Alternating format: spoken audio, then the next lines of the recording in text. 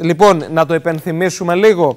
Χριστόφορος Παπαδάκης, συνάδελφος, απειλεί για τις ελιές σημάδια καρπίας και σκηνοκαρπίας εφιάλτης για την επόμενη σοδιά. Εδώ θα εστιάσουμε και θα ε, πάμε στον κύριο Βαγγέλη Πρωτογεράκη, πρόεδρος Συνδέσμου Ελεοργών Ηρακλείου, τον οποίο θέλω να ευχαριστήσω πολύ και για την υπομονή και για την αναμονή. Είχαμε ένα τεχνικό πρόβλημα εκεί πριν από λίγη ώρα. Την καλησπέρα μας, πρόεδρε, πώς είστε; Καλησπέρα κύριε Παναγιωτόπουλε, καλησπέρα στους τηλεθεατές σας. Σας ευχαριστώ θερμά. Ένα πρώτο σχόλιο αναφορικά με τις καιρικές συνθήκες, καθώς πήγε να μας τρελάνει και μας τρέλανε ο καιρός το χειμώνα, αλλά πάει να μας τρελάνει και τώρα που μπαίνει καλοκαίρι.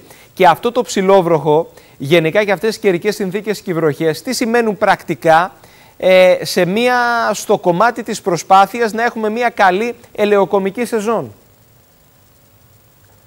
Ε, αυτό που είπαμε και με τον κύριο Παπαδάκη χθες είναι ότι όντως ε, υπάρχει συνοκαρπία. Δηλαδή λόγω των καιρικών συνθηκών από το Δεκέμβριο που είχαμε ζέστες ε, είχαμε κάποια δέντρα που πολύ νωρίς αρχίσανε να θίζουν, που έχουν ολοκληρώσει τώρα το δεσμό τους πολύ νωρίτερα από ό,τι έπρεπε.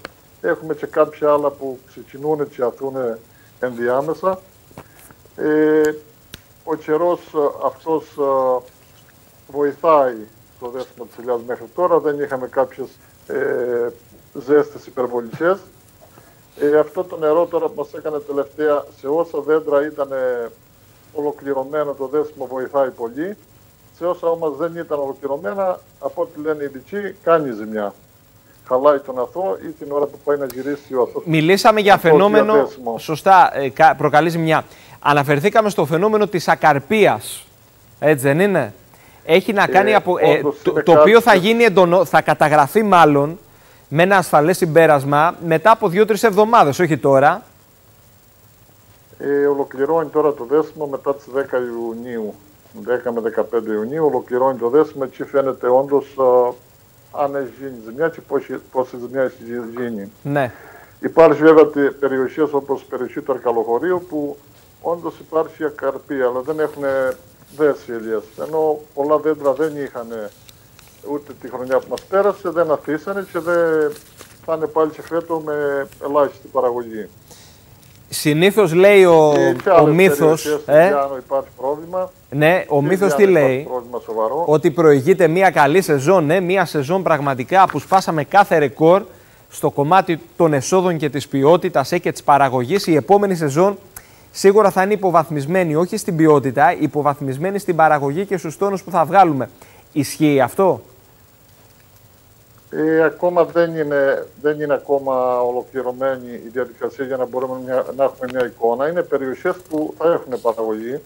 Ναι. Η επόμενη χρονιά, γιατί περάσαμε μια χρονιά πάρα πολύ καλή από ποσότητα, από ποιότητα και από τιμές, ναι. ε, του χρόνου οι τιμές πιθανόν θα είναι και καλύτερες από φέτος.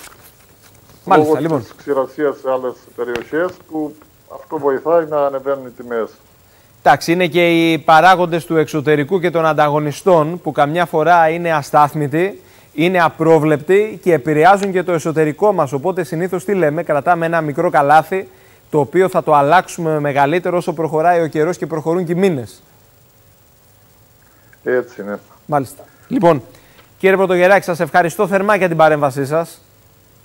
Να είστε καλά. Να είστε καλά. Την καλησπέρα μας. Ευχαριστώ πολύ.